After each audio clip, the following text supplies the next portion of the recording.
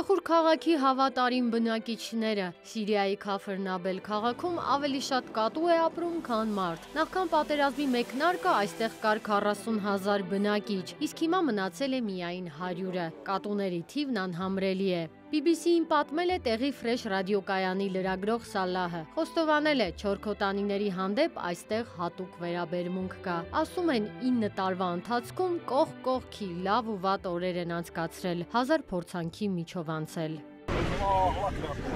Պատերազմը մարդկանց ու կենթանիների միջև հարաբերություններում զգացմունքների մի անծանոթ, բայց ջերմ շերտ է բացել։ Թե ճանապարհ ընկնեք, ձեզ կուղեկցի 20-30 կատու։ Իսկ թե ցանկացած տան դուռ բացեք, մի մեծ ընտանիք ձեզ կհյուրընկալի, որոնցից առնվազն 15-ը այս նուրբ չորքոտանիներն են։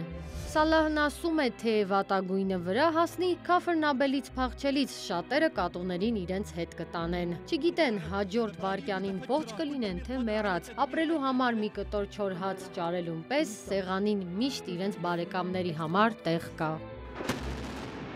2011-ի մարտի 15-ը փոխեց սիրիացի ժողովրդի կյանքի ընթացքը։ 350 հազար մարդու կյանք խլեց պատերազմը, իսկ Քաֆրնաբել քաղաքը գտնվում է Իդլիբ շրջանում։ Այն սիրիական ընդդիմության վերահսկողության տակ մնացած վերջին ու ամենավտանգավոր նահանգն է, որտեղ բնակիչները ամեն օր կյանքի ու մահվան կռիվ են տալիս կատուների հետ միասին։